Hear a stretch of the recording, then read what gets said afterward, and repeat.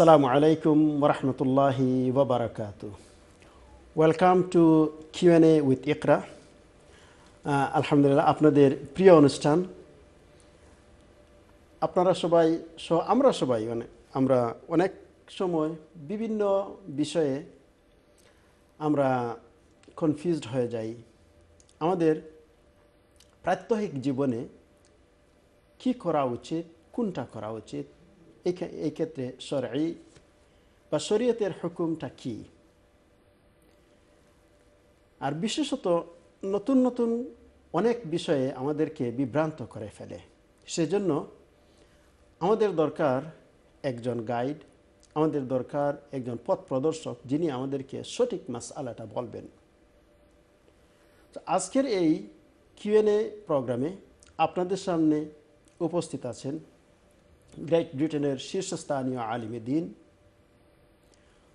ফোর্সকেয়ার মাদ্রাসার শেখুল হাদিস মুফতি আব্দুর রহমান সাহেব আসসালামু আলাইকুম হুজুর ওয়ালাইকুম আসসালাম আলহামদুলিল্লাহ আলহামদুলিল্লাহ জাজাকাল্লা খের হুজুর আপনার মাধ্যমে আলহামদুলিল্লাহ আমাদের জাতি বিশেষ করে আমাদের গ্রেট ব্রিটেনের মা বোনেরা ভাইয়েরা উপকৃত হচ্ছেন। অনেকে হুজুর একটা বিষয় এখন আমরা অনেক ক্ষেত্রে কনফিউজড হয়ে হয়ে যাই। আমরা যে মুজা বা সক্স পরিধান করি। মুজা বা সক্স পরিধানের ব্যাপারে মুসাহ করা নিয়ে অনেকের মাঝে আমাদের বিভিন্ন ধরনের কথা আমরা শুনতে পাই। যে কেউ বলেন যে সাধারণ যে সক্স আছে এটার উপর মাসাহ করা যাবে, আর কেউ বলেন যে এই সক্সের উপর মাসাহ করা যাবে না। এইটার সমাধান কি হাজার জাজাকুমুল্লাহ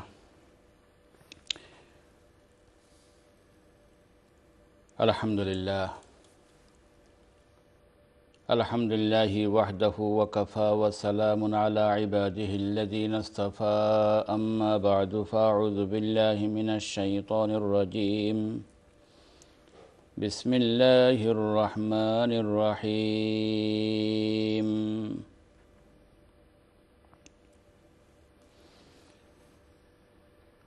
يا أيها الذين آمنوا إذا قمتم إلى الصلاة فاغسلوا وجوهكم وأيديكم إلى المرافق وامسحوا برؤوسكم وأرجلكم إلى الكعبين.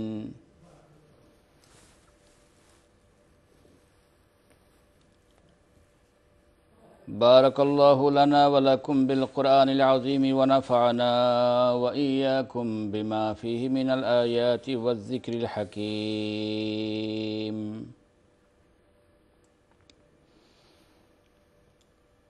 সম্মানিত এখরা বাংলার প্রিয় দর্শক শ্রোতা ভাই এবং বোনেরা প্রোগ্রামের শুরুতে প্রতিদিন নিয়ে আজকেও জানাই আপনাদেরকে আন্তরিক মোবারকবাদ দূরে এবং কাছে থেকে যারাই আমাদের প্রোগ্রাম দেখছেন? দোয়া করি আল্লাহ সুবানাউ তালা আপনাদের সকলের এবং আমাদের বলা এবং আপনাদের শোনা সকলের এই মেহনতকে কঠিন কামতে আল্লাহ সুবানাউ তালা যেন আমাদের নাজাতের সিলাই হিসাবে যেন কবুল করেন। আমিন। ইয়ারবুল আলমিন। বিগত দিনগুলোতে আমাদের আলোচ্য বিষয় ছিল তোহারা নিয়ে। যে আমরা কীভাবে পাক পবিত্র হব এবং একজন মুসলমানের জীবনটাই তার বাহির এবং অন্তর উভয়টাকেই পরিষ্কার রাখতে হয়। তোহারার মাধ্যমে বাহ্যিক এবং বাহির পরিষ্কার হয়। আর ইমানের দাবি হলো শুধুমাত্র বাহির পরিষ্কার হলেই চলবে না, বাহিরের পাশাপাশি অন্তরকেও পরিষ্কার করতে হয়। সেই হিসাবে হাদিসের মধ্যে বলা হয়েছে আত্মহুরুসতুল ইমান যে ইমানের উভয় কাজ অন্তর এবং বাহির উভয়টাকে ইমান পরিষ্কার করে।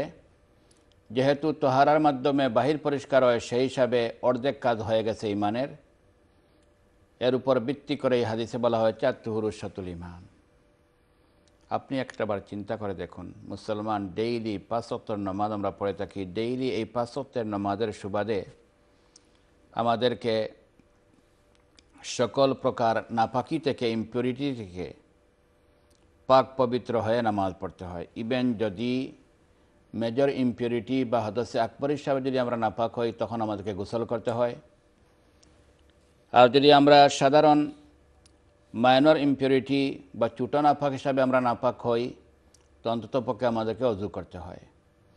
ইভেন যদি কোনো কারণে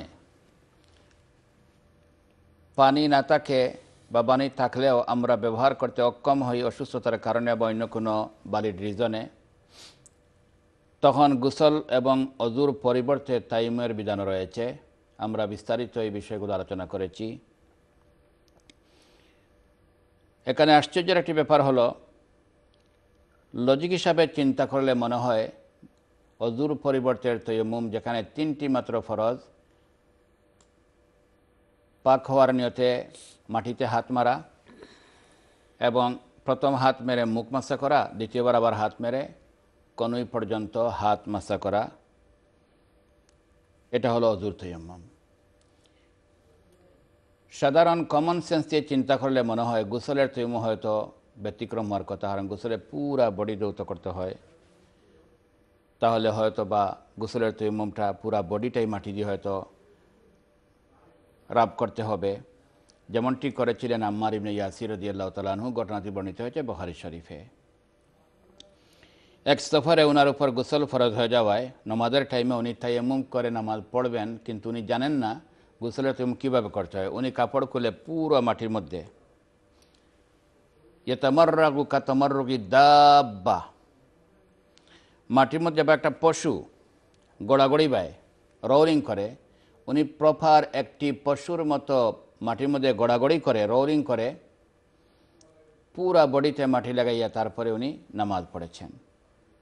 নবী করিম সালাম কাসম ঘটনার বর্ণনা করা হলো। উনি বললেন তোমার তো ওইভাবে তৈম করার প্রয়োজন ছিল না। তুমি ওই অজুর, সেই মারুফ এবং নৌন তয়মুম যেটি অর্থাৎ হাত মেরে এইভাবে মুখ আর হাত মাসা করলেই চলতো। রসুল্লাহ ইসলাম উনাকে সেই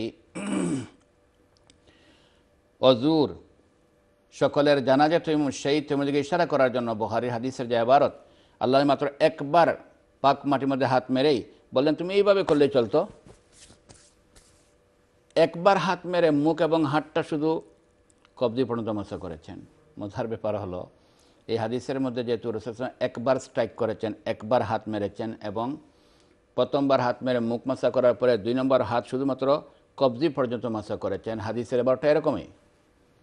এর উপর ভিত্তি করে ইমাম আহমদ বিন হাম্বল রহমতুল্লাহ শহনেকুলামায় কারাম বাহ্যিক হাদিসের উপর ভিত্তি করে পারেন মিনিংয়ের ভিত্তি করে ওনারা বলেছেন তাইমুমে দুইবার হাত মারার প্রয়োজন নাই এবং হাত মাসা করতে গিয়ে কোনোই পর্যন্ত মাসা করার প্রয়োজন নাই, শুধুমাত্র কবজি পর্যন্ত মাসা করলেই চলবে। দেখেন, এটা হাদিসে এসেছে কিন্তু।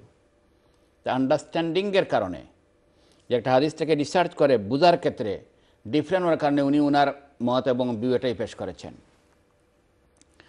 পক্ষান্তরে বাকি সকল উলামায়ে কারাম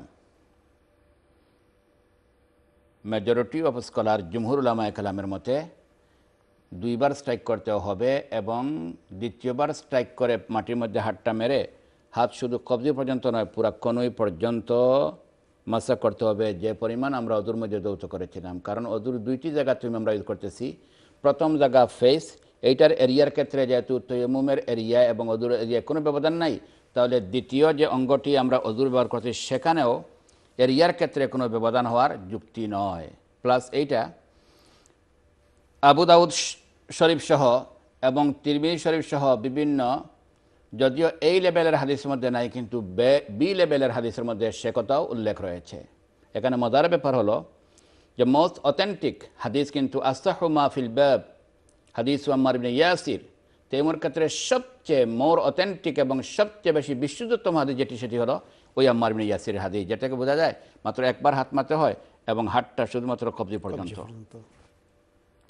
বখারি সে বিশুদ্ধম হাদিস। বাট বাকি উলামায় কারাম ওনারা সই হাদিস বোঝার পরেও বখারি সহ বিশুদ্ধ হাদিস রেখে ওনারা সে আবুদাউদ এবং তিরমির শরীফের হাদিস সহ এবং বখারি সহ বিশুদ্ধ হাদিসের ইশারা থেকেও ওনারা সকলে অভিমত হলো যে না, কোনোই পর্যন্তই মাসাহ করতে হবে। কারণ আল্লাহ সুবান তাল্লাহ কোরআনে করিমে তাইমুর ক্ষেত্রে কোনো এরিয়া বলেন নাই।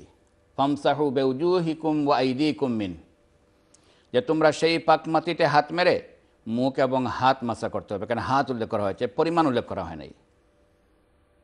তো হাতটা এতটুকু না এতটুকু? তো এখানে যেহেতু অজুর দুইটি জায়গায় ইউজ করা হয়েছে এবং হাদিসের মধ্যে মিরফাকাইন পর্যন্ত এসেছে জিরা আইন শব্দ এসেছে ওমা সাহা জিরা আইহি এটা আর বিশুদ্ধ একটা হাদিস। যে রসুল্লাহ সালাম জারা হাতের ফোর আর্ম আর্ম, এই দুইটি পার্ট যেখানে জিরা বলতে এতটুকু পর্যন্ত মশা করার কথা ইয়ারিসে উল্লেখ রয়েছে। যার ফলে উলামা একরাম সেটি অভিমত করেছেন। যাই হোক, ওটা ভিন্ন আরেকটি কথা। এবার আমরা চলে আসি যে অজুর ক্ষেত্রে যেহেতু অজু করতেই হয় এবং কোরআন শরীফের আয়াতের মধ্যে অজু কীভাবে করব, চারটি কাজ সেখানে পরিষ্কারভাবে উল্লেখ রয়েছে। এখানে একটি কাজ হলো, পা দৌত করতে হয়। ও আর জুলাকুম ইলাল কাবাইন, পা দৌত করতে হবে পায়ের ঘণ্টা ঘণ্টা পর্যন্ত। ইভেন পায়ে দোয়াটা এত গুরুত্বপূর্ণ যে এক সফরে নবী এ করিম সাল্লাম কোনো এক কারণে একটু পিছনে পড়ে গিয়েছেন হাদিস বুখারি শরীফে। সাহাবায় কারাম ওনারা একটু আগে ছিলেন, আসরের সময় ছিল। অলরেডি আসরের নামাজের টাইম একটু ডিলেট ডিলে হয়ে গিয়েছে লেট হয়ে গিয়েছে। যেখানে অজু করবেন, সেখানে অজুর পানীয় শট আর সাহাবায় কারামের নাম্বার কিনু, কিন্তু অনেক ওই সফরে প্রায় দেড় হাজার সাহাবায় কারাম মোরলেস এবং খুবই সম্ভব সেই সফরটি এবং জার্নি ছিল সুলে হুদেবিয়ার জার্নি। তো সেখানে সাহাবায় কারামের নাম্বার ওয়ান থাউজেন্ড ফোর হান্ড্রেডের চেয়ে বেশি, প্রায় দেড় হাজার। টাইমটি আসরের, গুরুত্বপূর্ণ নামাজ, লেট হয়ে যাচ্ছিল, পানি কম।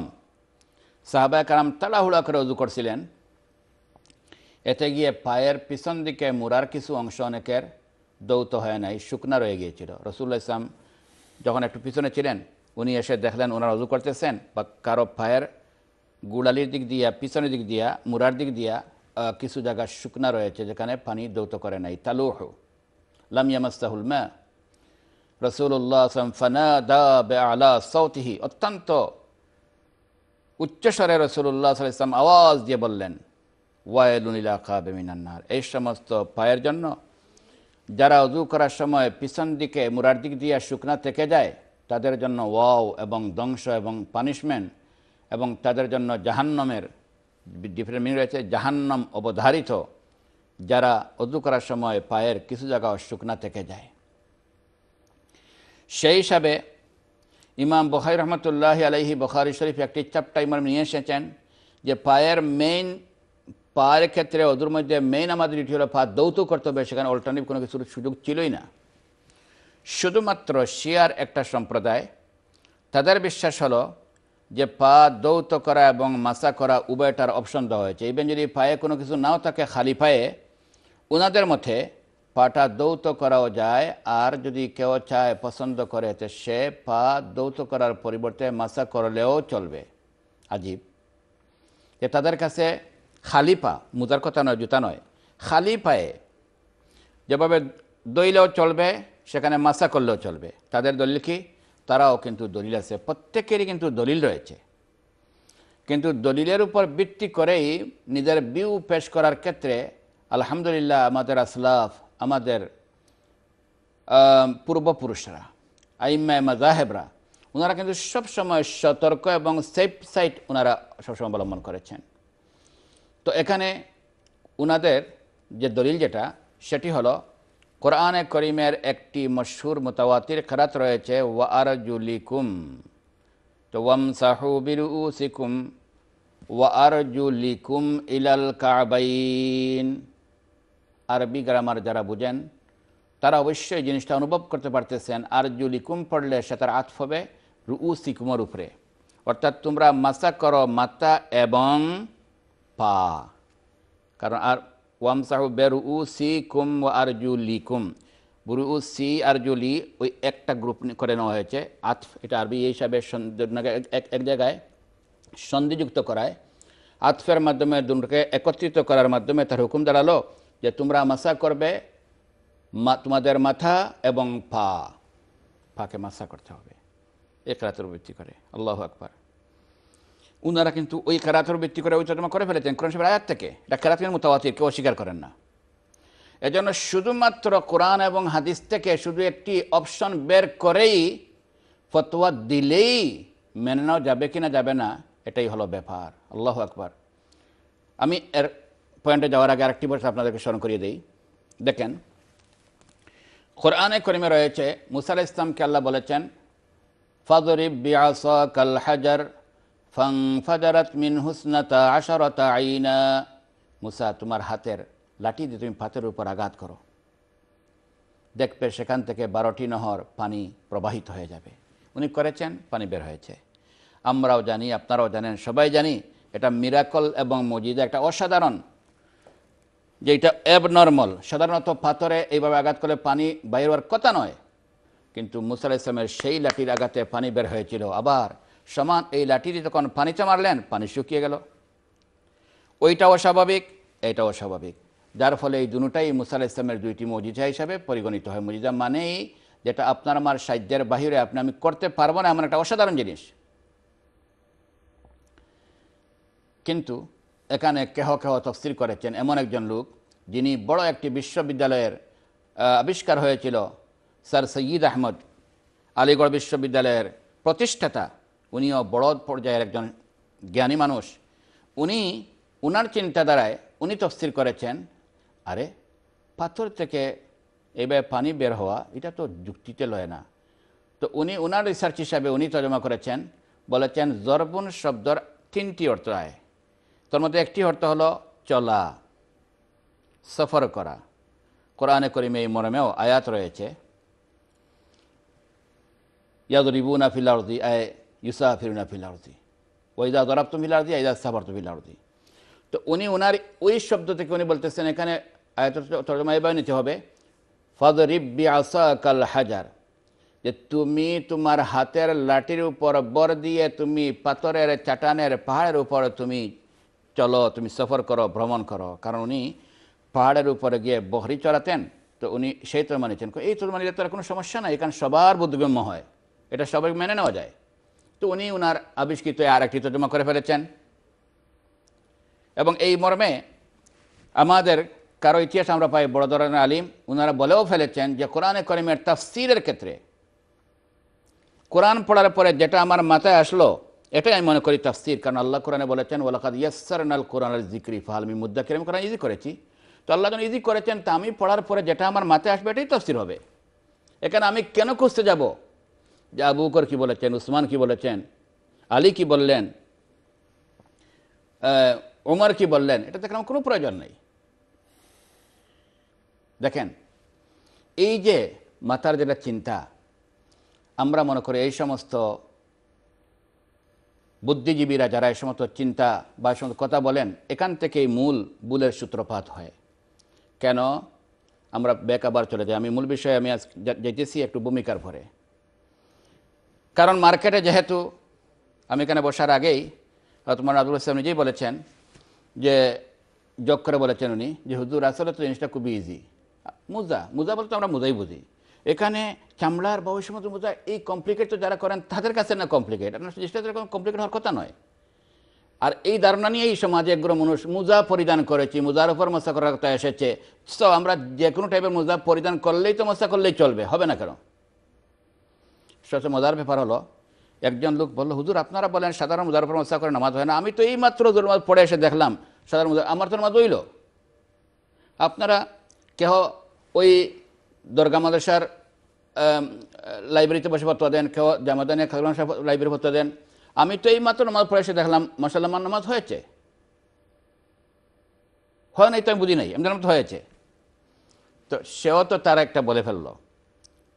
এজন্য মূল বিষয়ে যাওয়ার আগে আমি আপনাদেরকে একটি কথা বলতে চাই, যে এইভাবে অনেকেই কোরআন হাদিসের উপর ভিত্তি করে অনেক কথা বলে ফেলেছেন, তাই বলে আমরা কার কথা নেব না নেব? এবং ওই যে কথাটা বললেন, কোরআন পড়ে যেটা আমার বুঝলাম, এটাই তফসির বা এটাই হাদিস বা এটাই ব্যাখ্যা, এটাই কি মেনে যাবে কি না যাবে না? দেখেন সাহাবায় কারামের মাদার টাং আরবি হওয়া সত্ত্বেও নবীন ইসলামের ডাইরেক্ট স্টুডেন্ট হওয়ার পরেও ওহির জমানা নিজের সচককে দেখার পরেও কোরআনে করিমের বিভিন্ন আয়াতের তর্জমা অনুধাবন করার ক্ষেত্রে ওনাদেরও মাঝে মধ্যে মিসগাইড হয়েছেন ওনারা ডসমের মাধ্যমে সাধারণত এটা কারেকশন করা হয়েছে এটা হাজার ঘটনা রয়েছে। এটা হতে পারে, খুবই স্বাভাবিক। এবং আরেকটি বিষয়, নামাজ, যেহেতু উম্মাহ আতুল এবাদতের মধ্যে থেকে একটি আবাদত, কেয়ামতের দিন সর্বপ্রথম নামাজ হিসাবে নামাজ। যদি এখানে কোনো ধরনের কোনো কমি বা কোনো ধরনের কোনো ঘাটতি পরিলক্ষিত হয়, তাহলে বাকি সবটিতে পাস করা অত্যন্ত কঠিন হয়ে দাঁড়াবে। মেন সাবজেক্ট আউআলুমা হাসবুল আব্দি ওমর খামা আসসালা এবং নামাজের জন্য তোহারত জরুরি, আমরা সবাই জানি। তোহারতের মধ্যে অজু করতে হবে। এই পবিত্রতার ক্ষেত্রে এখানে সন্দেহ নিয়ে, রিস্ক নিয়ে কারও কারও ফতোয়ার উপর ভিত্তি করে যদি আমরা এখানে, আমরা মন করে এটা করে ফেলি তাহলে এটা আপনার রিস্ক আপনি নিতে পারবেন, যারা নিতে পারবেন না তাদের উপর চাপিয়ে দেওয়াটা আমি মনে করি ঠিক হবে না। আপনি হোম অফিসে যখন একটি অ্যাপ্লিকেশন সাবমিট করেন, আপনি তিনজন সলিটার কাছে গিয়ে আপনি বুঝেন, বুঝার পরে একজন সলিটার বলল যে আপনাকে এই ফাইলও আপনাকে লোকে সাবমিট করতে হবে। আরেকজন বলল যে এটা না করলেও চলবে, করা যেতে পারে, না করলেও চলবে। তো আপনি তখন চিন্তা করবেন যে আমার সতর্কতার জন্য যদি আমার দেওয়ার ক্ষেত্রে ফায়দা হয় তাহলে আমি সেটা দেওয়াটাই আমার জন্য জরুরি। এটা আমার যদি কঠিন হয় তবু আমি এটা আউট যেটা আছে অতিরিক্ত সেটা আমি সাবমিট করব। কেন? আমার জন্য আমার জন্য এটা যেন প্রত্যাখ্যান যেন না হয়। তো এই হিসাবে নামাজের ক্ষেত্রে আমাদের অবশ্যই সতর্ক থাকতে হবে এমন কোনো পন্থা অবলম্বন করব না যার মাধ্যমে মাসটা যেন আল্লাহ কাছ থেকে অগ্রহণযোগ্য হয়ে যায়। ইনশাল্লাহ আমি মেন ভূমিকায় থাকছি আমি মেন পয়েন্টে পড়ে যাচ্ছি। ইনশাল্লাহ জাজাকাল্লাহ অত্যন্ত অত্যন্ত খুব গভীর বিষয় সম্মানিত ভিউয়ার্স আলহামদুলিল্লাহ আপনারা সাথে থাকবেন। সবাই আমাদের সবাইকে এই ধরনের আলোচনায় অংশগ্রহণ করা এবং এ থেকে শিক্ষা নেওয়া জরুরি। হুজুর যে প্রসঙ্গের অবতারণা করেছেন, আমরা যাচ্ছি একটা ছোট্ট বিরতিতে। বিরতির পর আবার এই প্রসঙ্গের অবতারণা হবে ইনশাল্লাহ থাকুন ইকরা বাংলার সাথে। আসসালামু আলাইকুম।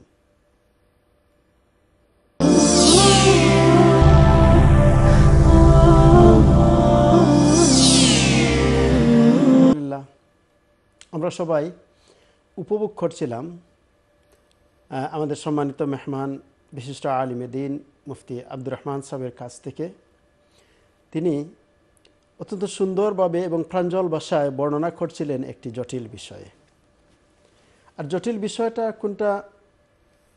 অত হুজুরের কাছে এটা জটিল না। আমাদের কাছে, আমার মতো একজন লোকের কাছে এটা জটিল। তার আগে আমরা একটা কল নিয়ে নেই, দেখি আমাদের সাথে কল কলার কে আছেন আসসালামু আলাইকুম। আসসালামু আলাইকুম। ওয়ালাইকুম আসসালাম রহমতুল্লাহ বরকাত আপনার আমি- জি। আমি আপনার ফোন করছি জানতাম কোন দিন করছে একটা তা কইবানি আচ্ছা ঠিক আছে ইনশাল্লাহ আচ্ছা তা আমি ফোন রাখা বাদে হইন যেন আসসালামু আলাইকুম। ওয়ালাইকুম আসসালাম রহমতুল্লাহি বরকাত ইনশাল্লাহ হুজুরে কইবা? জাজাকুমুল্লাহ।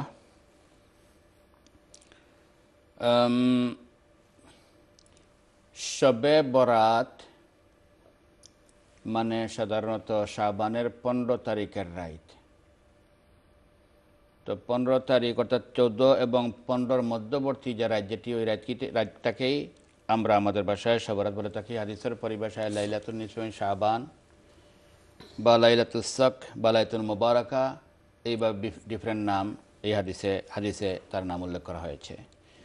তো দিস ইয়ার আজকে যদি সাত তারিখ হয় তো সেই হিসাবে আগামী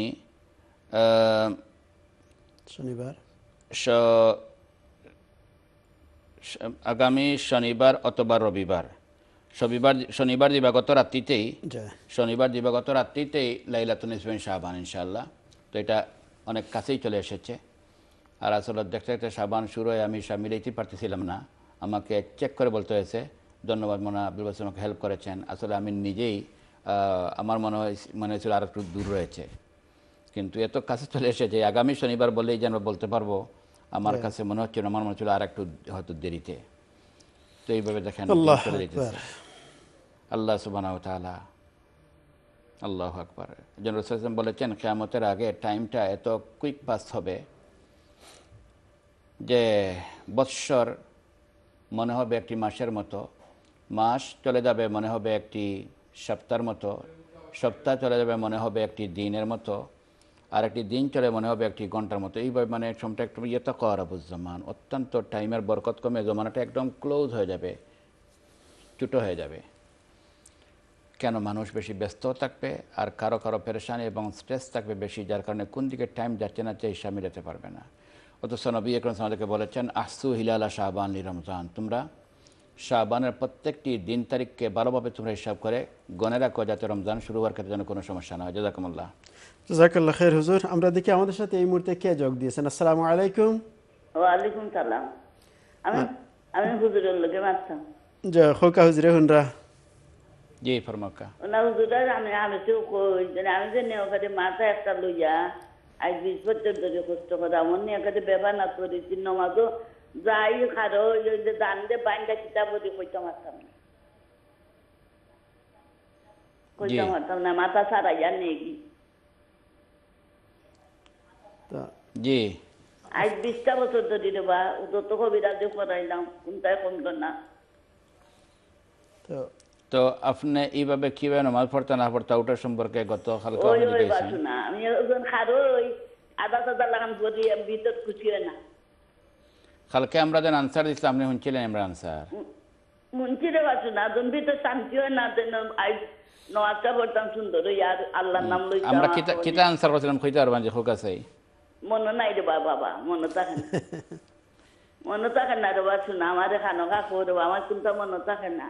না ওখানে ওখানে আমি ওখানেই কইছিলাম যে আসলে আপনি ওদের মনে থাকে না যতক্ষণ মনে থাকে আপনি অত আমালে তাহু কাজ করে দরকার না আপনি আমালে মাতুকা। যতক্ষণ আপনি ফারইন অতক্ষণ আপনি ফরেন জানো। ঠিক আছে নি? আপনি রয়েছেন নি আমার লগে? আপনার মনে হয় গেছেন কি আমি জানি আসলে শারীরিকভাবে হলেও গেলে গিয়ে কিতাও এক কথাও তাকে ভিতরে বাকি সবটা বলি যাইন তাই প্রায় ওগুলো আমরা প্রশ্ন করাইন তো আমি তান ওখানে খেয়ে দিছি যে আপনি আপনার মাথায় যতক্ষণ কুলায় আপনি ওগুলাখান পড়লেও ওই বখান। আপনাদের হিসাব আপনার মাথা হিসাবে। আর বাকি যেটা ফারণ এগুলি ওয়াজ করার কোনো কারণ নাই ইনশাআল্লাহ। ওকে জাজাকুমুল্লাহ আসসালাম জাজা। আমরা দেখি আমরা লগে খে এখন যোগ দিয়েছেন আসসালামু আলাইকুম। ওয়ালাইকুম সালাম রহমতুল্লাহ বারাকাতু হুজুর ভালো আছেন? আলহামদুলিল্লাহ। আলহামদুলিল্লাহ আমরা ভালো আছি। আমি একটা প্রশ্ন করতেছিলাম জি ফরমাত। ধরো হজও যাইন যেন মানুষ নাইনি হুম। যখন আপনি হজও যাইরে আমি কইলাম বলে মানুষ কইন নানি যে নবীজির রোজা মুবারক আমার সালামটা পৌঁছাইন যেন বা উমরা যাইতে সময় কইন যেন বলে নবীজির রোজা মুবারক এটা ঠিক আছে নি না কিতা? আমরা খইমো আর কোনটা আছে নি? জি না। ঠিক আছে ইনশাল্লাহ আপনার প্রশ্ন হলো হজে অথবা উমরায় যাওয়ার সময় আমরা তাদের কাছে অনুরোধ করে থাকি আপনি মদিনায় গেলে রোজায় আকদসে যখন রসুল আমার খবর সালাম দিবেন আমার পক্ষ থেকে সালামটা দিয়েন। তো এটা ঠিক আছে কিনা ঠিক নাই? ইয়েস অবশ্যই ঠিক আছে। আমরা সালাম নিজে সাক্ষাৎ হলে যারা সালাম করতে পারি, কারও কাছে সালাম প্রেরণা করা যেতে পারে। চাই জীবিত হোক অথবা মৃত হোক। জীবিতর ক্ষেত্রে সালাম পৌঁছানোর কথা পরিষ্কার হাদিসে এসেছে। অনেক সময় নবী এ করিম সাল্লাম বা সাহাবা একরাম একে অন্যের কাছে এভাবে সালাম প্রেরণ করতেন। ইবেন আল্লাহ সুবানাউ তালা এইভাবে সালাম প্রেরণ করেছেন খাদিজার দিল্লাহতালার কাছে। জিবিল মারফতে বলেছেন যে জিবিল ইসলাম এসে বললেন নবী ইসলামকে যে আল্লাহ সালাম বলেছেন, আপনি আল্লাহর পক্ষ থেকে আপনার বিবি, আপনার স্ত্রী খারেজা রদিল্লাহ তালাহাকে আল্লাহর সালাম দিবেন এবং ওনাকে সুসংবাদ দিবেন আল্লাহ সুবাহ তালা ওনার জন্য, জান্নাতে একটি গড় নির্মাণ করেছেন যেটি মুতি দিয়ে নির্মাণ করা হবে, মুতির একটি গড় সুবাহ আল্লাহ তা আল্লাহর পক্ষ থেকে বিবি খারেজা রদিল্লাহ তালাকে সালাম আসত। ঠিক নবী করিম সালাম ওইভাবে সালাম প্রেরণ করতেন। ইবনে উমর রাজিয়াল্লাহ তালানহুমা কোনো এক ব্যক্তি সম্পর্কে বলেছিলেন যে, যদি আমি শুনেছি সে নাকি বেদাতে ইম্বল হয়েছে তাই হয়ে থাকে, তাহলে আমার সালাম তাকে বলবে না। নতুবা আমার সালাম তার কাছে পৌঁছাবে। তো সেখানে সালাম পৌঁছানোর কথা থাকলেও কন্ডিশন দিয়েছিলেন, তো সালাম পৌঁছানো যায়। যেভাবে জীবিত ব্যক্তিকে সালাম পৌঁছানো যায়, মৃত ব্যক্তিকেও সালাম দেওয়া নবীর সুন্নত। আমরা যে কোনো কবরস্থানে গেলে আমরা সালাম দিই। কি বলি? আসসালামু আলাইকুম আইয়ুহাল কুবুর, আসসালামু আলাইকুম, ইয়া আহলাল কুবুর, হে কবরবাসী, তোমাদের উপর শান্তি বর্ষিত হোক। তো সালাম দেওয়া জীবিতর ক্ষেত্রে যাবে সুন্নত, মৃত ব্যক্তির কাছেও খবর গেলে সেখানে সালাম দেওয়া সুন্নত। জীব, মৃত ব্যক্তিরাও কিন্তু শুনে।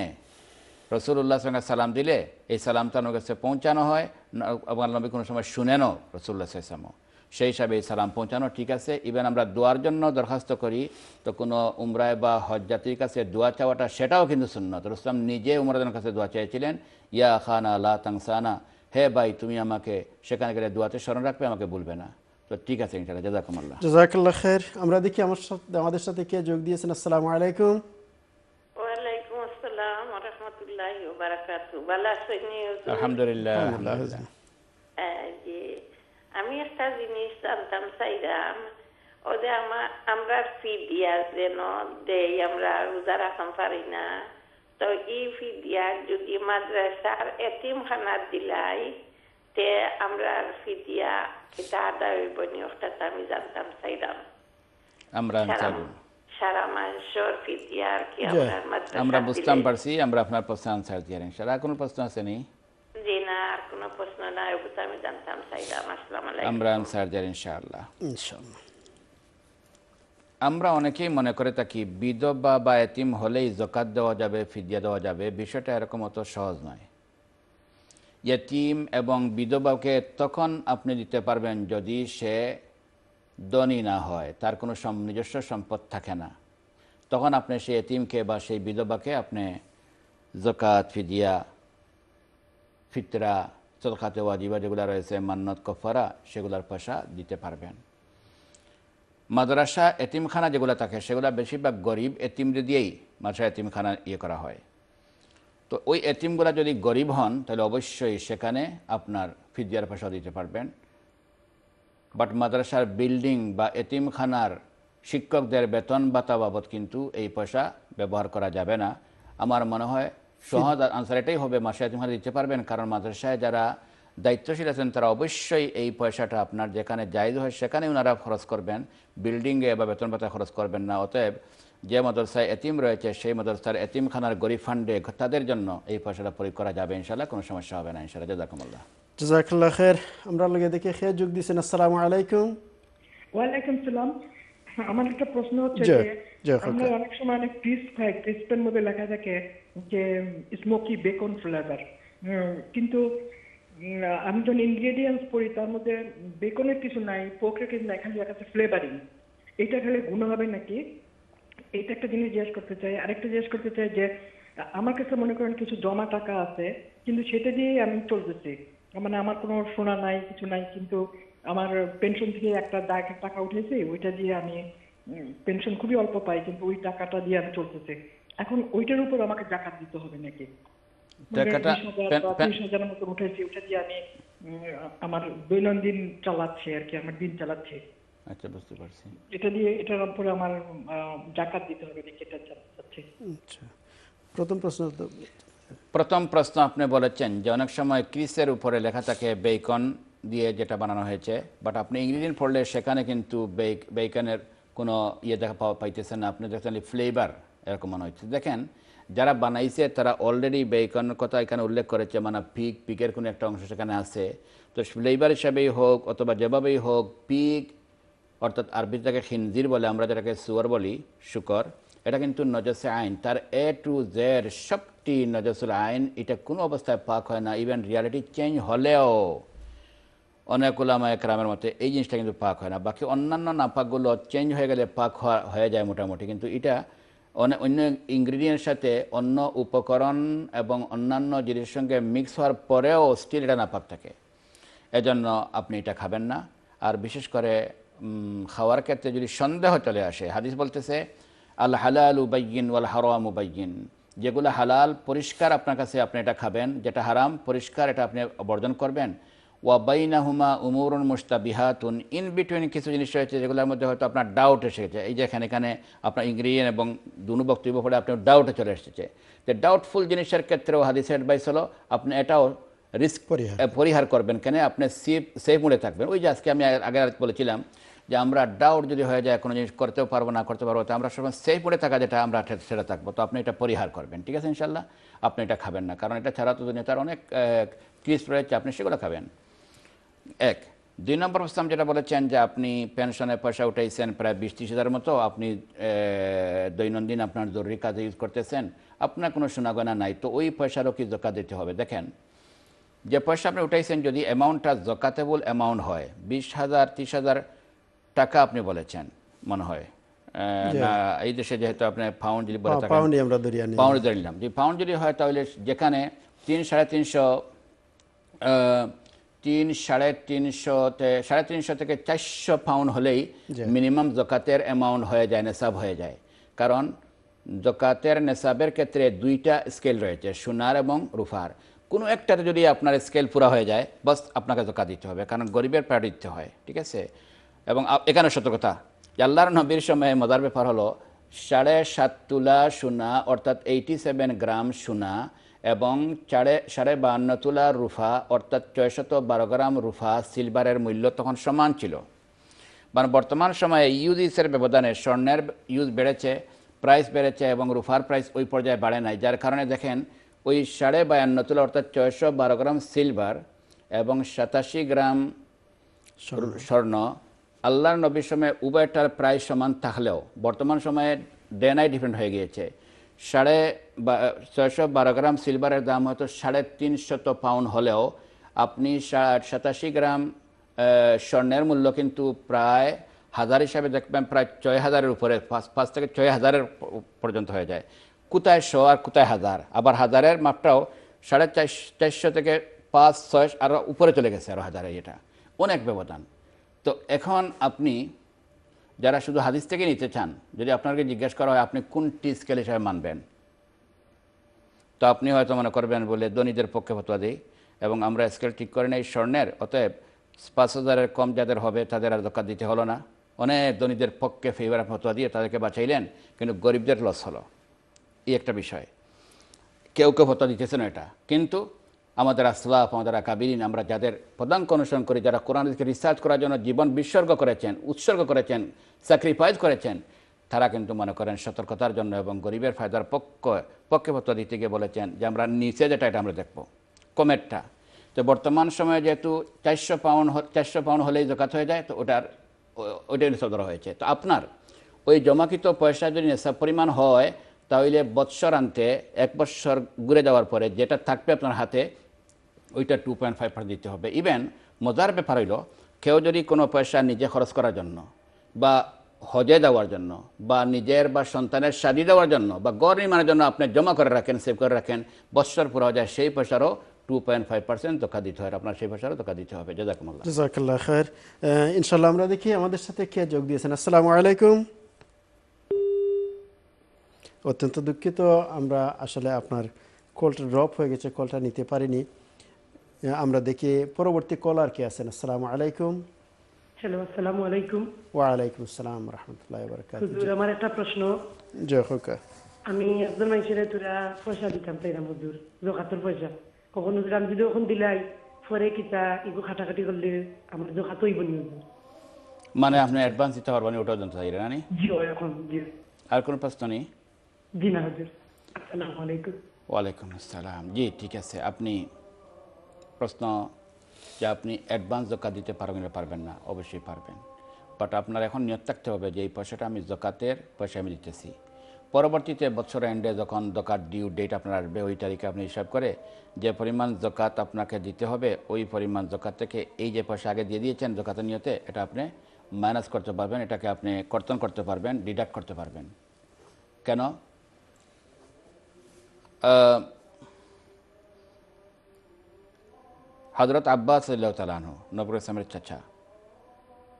এবং খালিদ ইবনে ওলিদ রাদিয়াল্লাহ তালানহু উনারা উবের জকাত নবী করিম সাল ইসলাম কোনো এক সিচুয়েশনে যুদ্ধের বারো বিভিন্ন তাকাদার কারণে আল্লাহর নবী দুই বৎসর ওনাদের কাছে অ্যাডভান্স জকাত নিয়ে নিয়েছিলেন এবং ওনারা দুই বৎসর অ্যাডভান্স জকাত পে করেছিলেন। যদি তাই হয়ে থাকে যে জকাত অ্যাডভান্স দেওয়াও যায়, নেওয়াও যায়, তাহলে আপনিও দিতে পারবেন। হাদিসে দুই বছরের কথা আসলেও এটা কিন্তু লিমিটেড নয়। উলামা কালাম বলতেছেন দুই কেন আরও বেশ? যদি অ্যাডভান্স দিতে কেউ চায় সেটাও জায়জ হবে ইনশাল্লাহ তো আপনার জন্য জায়জ হবে। জাজাকুমুল্লাহ। ইনশাল্লাহ কে আছেন আমাদের সাথে? আমরা দেখি আসসালামু আলাইকুম। ওয়ালাইকুম আসসালাম রহমতুল্লাহ বারকাতু মাশাআল্লাহ। আমার একটা প্রশ্ন ছিল যে কোরআন শরীফ পড়ার সময় যে সেজদা এই সেজদা যখন আমরা বাদে আদায় করি সেজদার সময় যে সেজদার তসমি করা লাগে কিনা সজদা সজ্জারাত কিতাব হয়েছেন প্রশ্নটা হইবা নি কোরআন শরীফ- কোরআন শরীফ পড়ার যে সেজদার আয়াত আয় এই সেজদা যে সময় আমরা আদায় করি বাদে এইটার সময় যেটা সেজদার তসমি সুবহান রব্বিল আলা এটা করা লাগে আচ্ছা বুঝতে পারছি সেজদা হুম অত্যন্ত সুন্দর প্রশ্ন ইনশাল্লাহ হুজুরে আপনার প্রশ্নের উত্তর দিবা ইনশাল্লাহ প্রথমত আপনি এতটুকু জানতে পেরেছেন যে কোরআন শরীফে কিছু আয়াত রয়েছে আয়াত করলে সজ্জা দিতে হয়। এই ধরনের আয়াত চোদ্দ বা পনেরোটি রয়েছে। তো উত্তম হবে ওই পনেরো নম্বর যেটা বিতর্কিত, সেখানে দিয়ে দেওয়াটাই ভালো। কারণ একটি সজ্জা আপনার জন্য এত দামি, ইবলিস মাত্র একটি সজ্জা অস্বীকার করার কারণে অভিশপ্ত হয়েছে।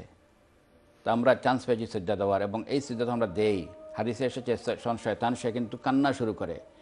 আর সে আফসুস করা শুরু করে আক্ষেপ করা শুরু করে। হায় হায় উমির আবনু আদম আবি সুজুদ, ফাসাজদা ফালাহুল জান্না। স্থানে আদমকে সজ্জার হুকুম দেওয়া হয়েছিল, সে সজ্জা দিতেছে, বারবার দিতেছে, তার জন্য জান্নাত।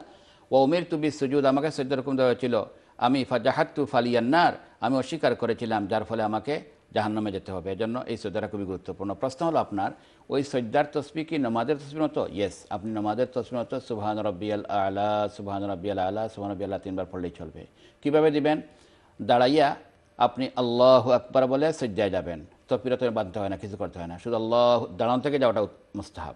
আপনি দাঁড়িয়ে আল্লাহ আকবার বলে সজ্জায় গেলেন। যেভাবে আমরা রুকুর পরে যে সজ্জা যেভাবে যাই নমাজে, ঠিক এক্স্যাক্টলি ওই সোজা হয়ে দাঁড়ানো থেকে আল্লাহ আকবার বলে সজ্জায় গেলেন, গিয়েই নমাজের সজ্জার মতো আপনি সজ্জায় গিয়ে তসবি পড়েন, সুবাহান রব্বিয়াল আলা, সুবাহান রব্বিয়াল আলা, সুবাহান রব্বিয়াল মিনিমাম তিনবার হয়ে যাবে ইনশাআল্লাহ। এই তসবিটাই স্বাভাবিক। আল্লাহ আকবার বলে আপনি বসলেন, বস সিদ্ধা হয়ে গেছে যাওয়ার সময় আল্লাহ আকবার বলে গেলেন, দাঁড়ানো থেকে, আর উঠার সময় আল্লাহ আকবার বলে, উঠলেই, উঠে বসলেই চলে চলে গেল, দাঁড়াতে হবে না।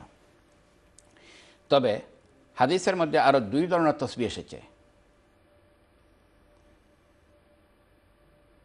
ওই দুই তসবিও পড়া যায়, যেহেতু এই তসবিটা লম্বা। সাজেদালাকা ওয়াজহি লিল্লাদি শাক্কা সামাহু ও শাক্কা বসরাহু, এই বর্মে একটি ইয়ের তসবি রয়েছে। জনৈক সাহাবি বলেছিলেন যে, আমি দেখলাম সজ্জা তিলত করেছি এবং আমার সামনে একটি গাছ, সেও সজ্জা করেছে এবং গিয়ে ওই তসবি পড়েছে। ওই তসবি শোনার পরে নবী করিম সাল ইসলাম কোনো কোনো সময় সজ্জার মধ্যে ওই তসবিটাও সজ্জা তিলতের সজ্জার মধ্যে ইউজ করেছেন। তো সজ্জার মধ্যে ভিন্ন তসবিও পড়া যায়, যেভাবে নমাজের নর্মাল ফরদ এবং সুন্নত নফল নামাজের সজ্জার তসবির ক্ষেত্রেও ডিফারেন্ট ওয়ার্ড এসেছে। তো আপনি নর্মাল তসবি পড়তে পারবেন, ওই তসবিগুলো পড়তে পারবেন, কোনো সমস্যা নাই। ঠিক আছে ইনশাল্লাহ জাজাকুমুল্লাহ। জাজাকাল্লাহ খের হুজুর আমরা দেখি আমরা লগে এখন খেয়াদ যোগ দিচ্ছেন আসসালামু আলাইকুম। আসসালামু। আলাইকুম। ওয়ালাইকুম আসসালাম। ভালো ভালো আছেন আপনারা? আলহামদুলিল্লাহ। আলহামদুলিল্লাহ। আলহামদুলিল্লাহ যে জি, হোক আমি একটা কোয়েশ্চেন করতাম আসলাম। ফরজ নমাজের পরে দুয়া করন জেনে সজিদাত এটা ঠিক আছে নি? না শূন্যত করইন না ফরজ নমাজ করইন ফরজ নামাজের সালাম পিরানি ফরেনি? জি না ওই জন্য সজিদাত গিয়া জেনে দোয়া করইন আচ্ছা পঞ্চাশ সজ্জাত না লাস্টের সজ্জাত? ঠিক আছে আমরা জবাব দিই ইনশাআল্লাহ হাদিসে এসেছে যে সময় ইন্না আকরবা মা ইয়াকুনুল আব্দু রব্বিহি সাজিদ বন্দা আল্লাহর সবচেয়ে বেশি নক্কটে চলে যায় কাছে চলে যায় যে সময় সিদ্ধাতে যায়। সো তোমরা সেখানে গিয়ে দোয়া করো ফাকামিনুন আন ইউস্তাজা বালাক তোমরা সজ্জায় গেলে দোয়া করবে ইনশাল্লাহ তোমাদের সে দোয়াটা কবুল হবে বলে আশা রাখা যায় বেশি। এই হলো হাদিস। এই হাদিস উপর ভিত্তি করে আমরা কি প্রপার দোয়া করব নাকি তসবি পড়ব? আসুন। রসুল্লাহ সাল্লাম বলেছেন, সজ্জায় গিয়ে তোমরা তসবি পড়বে সুবাহান রব্বি আল আলা সুবাহান রব্বি আলা তিনবার। যে সময় কোরআন শহর আয়াত নদী হয়েছিল সাব্বি হিসমা রব্বি কাল আলা, নবী বললেন, তোমরা এই আয়াতের কপি করে। আল্লাহ বলেছেন, রব্বে আলার তসবি পড়ো তো তোমরা এই আল্লাহর নির্দেশ পালন করতে গিয়ে সজ্জার মধ্যে তসবি সাহেব পড়ো, সুবাহান আল আলা, সুবাহান আল আলা, সুবাহান আল আলা। এই যে তসবি, এই তসবি পড়াটাই দোয়া। বলবেন তসবিটা দোয়া কীভাবে হয়? দেখেন, নবী করিম সাইসলাম বলেছেন, আরফার মাঠের সবচেয়ে উত্তম দোয়া যে দোয়াটি করেছেন সকল আম্বিয়া কারাম করেছেন আমাদের নবী মোহাম্মদ রসুল ইসলাম সেটি হলো ফোর্থ কলিমা, লা ইলাহা ইল্লাল্লাহু ওয়াহদাহু লা শারীকা লাহু। লাহুল মুলকু ওয়া লাহুল হামদু ওয়া হুয়া আলা কুল্লি শাইইন কাদির। প্রশ্ন, এটা তো একটি কলিমা, এটা তসবি। এটা আবার দোয়া কীভাবে হয়? ওলামায়ে কেরাম বুখারি শিবের সেই হাদিসের ব্যাখ্যায় বলেছেন, যেহেতু আপনি তসবি পড়তে থাকলে দোয়া করে যেটা পাওয়ার আল্লাহ পাক, উইদাউট দোয়া দোয়া করার চেয়ে উত্তম জিনিস আল্লাহ দান করেন। একটি হাদিস রয়েছে, যদি কোনো মানুষ তসবি এবং জিকির মধ্যে থাকে, তাহলে আল্লাহ সুবাহ তাআলা অন্যরা দোয়া করে, যারা একদিন মজলিসের মধ্যে দেখলেন রসুল ইসলাম এগুলো সাহাবান দোয়া করতেছেন, এগুলো তসবি পড়তেছেন। নবীজি বললেন? যারা দোয়া করতেছে, আল্লাহ চাইলে তাকে দিতেও পারেন, না দিতে পারেন। আর এরা যারা তসবি পড়তেছে, এদের কিন্তু আল্লাহ সুবাহ তালা তসবি পড়ার কারণে ওরা চেয়ে যারা পাইতেছেন, আনা চাওয়ায় তাদেরকে সেটা দেওয়া হবে। তো তসবির মধ্যে আপনার সময় কাটালে সেটাও কিন্তু দোয়ায়, দোয়ার মতোই হয়ে যায়। এটা বলবেন কীভাবে? আমাদের সে আছে, যারা সিন্নি বাটে। তারা সিন্নি বাটে কিন্তু শেষ পর্যন্ত তাদের সান্দার সময় তারা না দাঁড়াইলেও তাদেরকে বড় সান্দা দেওয়া হয়। তো আল্লাহর তসবিব বলতে যদি কাহ কেহ সেখানে বিধি থাকেন, তো উইদাউট আস্কিং উইদাউট সওয়াল, আল্লাহ ওয়া উত্তম জিনিসটাকে দান করেন। এক, দুই নম্বর কেহ বলতেছেন, এই আদিসের অর্থ হলো সত্যিকার দোয়াই পড়বেন। এবং নবী করিম সাল ইসলাম সেই দোয়াগুলো করেছেন বেশিরভাগ নফল নামাজে, অতএব উত্তমভাবে আপনি এই দোয়াগুলো নফল নামাজেই করলে। কারণ লম্বা দোয়া করেছেন রসুল ইসলাম নফলে ফরজে কিন্তু লম্বা দোয়া করেন নাই। বরং অ্যাডভাইস করেছেন, কারণ আল্লাহ নবী তো বেশিরভাগ ফরজ নামাজ ইমামতি করেছেন, তাই না? এবং ইমামতির সময় বলেছেন, মান আম্মা কমান ফালিউ খাফিফ যারা ইমামতি করবে তার নামাজকে শর্ট করে নামাজটা যেন পড়ে বেশি লম্বা যেন না হয়, কারণ পিছনে অনেক মুসরি যারা তাদের হয়তো কষ্ট হবে এজন্য। তো এটা বেশিরভাগ নফলে করেছেন। তাই আপনি এই দোয়াগুলো নফলেই করলেন। তিন নম্বর, আপনি সজ্জায় গিয়ে এখানে আবার একটা প্রশ্ন আসে যে আমরা কোন ভাষায় করবেন? আজকাল অনেকে মতো দিচ্ছেন, আপনি বাংলা ভাষায় করেন আমার আল্লাহ সব কিছু বুঝে। তো ওনারা ওনাদের মতো করে যেটা ওনার মাথায় এসেছে ওনারা বলতেছেন, কিন্তু বাকিউল আমারা মনে করেন যে নমাজটা একটু সেন্সিটিভ এখানে কিন্তু রেস্ট্রিকশন রয়েছে, নমাজের কেরাত আরবিতে পড়তে হয়। তসবিহাত আরবিতে পড়তে হয়, দোয়াগুলো আরবিতে পড়তে হয়, রুক- সজ্জা তসবি আরবিতেই পড়তে হবে, এখানে বাংলায় পড়ে চলবে না। যে সবটাকে যখন আরবি, তো তসবিহা তো আরবি, আপনি আরবি তসবিহাতের পরিবর্তে দোয়া পড়তেছেন এবং নবী ইসলাম যেগুলো পড়ছেন আরবিতেই পড়েছেন, তাই আপনাকে আরবিতেই পড়তে হবে। ইমাম মালিক মালিক সেটা বলেছেন, অন্য ভাষায় বললে নামাজ ফাঁসি হয়ে যাবে। বাট ইমাম আবনতে বলতেছেন ফার্স্ট চয়েস থাকবে আরবিতে বলার, যদি কেউ আরবিতে পারেন না, নিজের ভাষায় বললেও নামাজ হয়ে যাবে, হয়তো অনুত্তম হবে। বাট কোনো কোনো আমার একটা মতলাগানো পারমিশন দিচ্ছেন তিনটে অপিনিয়ন পেয়ে গেলেন আপনি। কারণ আপনি কোনটি করবেন? আপ টু ইউ যে আপনার নমাজকে বাঁচাবেন না দোয়া বাঁচাবেন। যেহেতু দোয়া বাহিরেও করা যায়, কোনো সমস্যা নাই। এখানে একটি বিষয় বলে রাখা ভালো, নমাজের বাহিরেও দোয়া করলেও দোয়া কবুল হয়। কোনো কোনো বায়েরা ওই বাহিরের দোয়াকে নিরুৎসাহিত করার জন্য সজ্জার দোয়ার আদিসকে বেশি প্রমাণিত করে ওইটার উপর বেশি ফোকাস করে থাকেন। আমরা কিন্তু সেটাও করি না। আমরা মনে করি ভিতরে দোয়া করা যায় আর বাহিরে দোয়া করা যায় এবং বাহিরের দোয়া আপনি যে কোনো ভাষায় কোনো সমস্যা নাই, নমাজের দোয়া অবশ্যই আরবিতে করার চেষ্টা করবেন। জাজাকুমুল্লাহ জাজাকাল্লাহ খৈরুজান আমরা দেখি আমরা লগে খেয়ে যোগ দিচ্ছেন আসসালামু আলাইকুম। সম্মানিত ভিউয়ার্স আপনারা যারা আমরা জানি অনেকে আমাদের লাইনে আছেন, কিন্তু এই মুহূর্তে আমাদেরকে যেতে হচ্ছে একটা ছোট্ট বিরতিতে। আপনারা থাকুন ইকরা বাংলার সাথে, বিরতির পর আমরা আপনাদের প্রশ্ন নিব এবং হুজুর উত্তর দিবেন ইনশাল্লাহ আসসালামু আলাইকুম রহমতুল্লাহি ওবরাকাত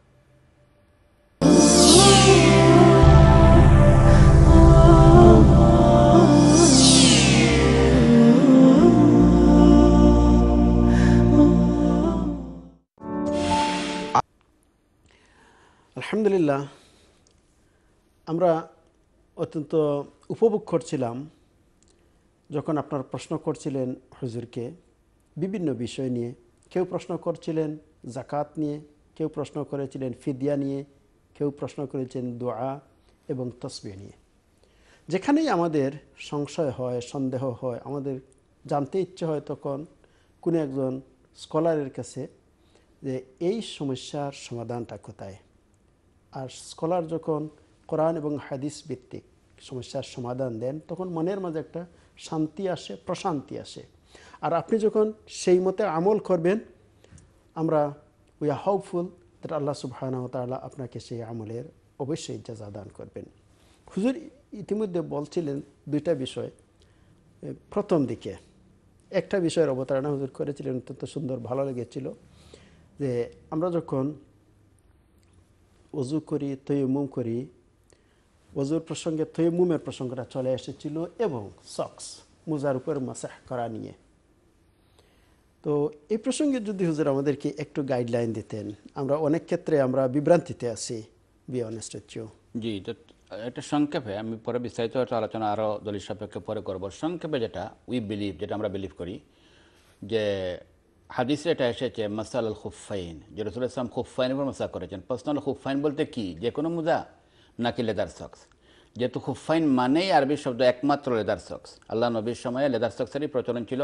নবীজি সেই ধরনের মুজায় মশা করেছেন, ঠিক আছে?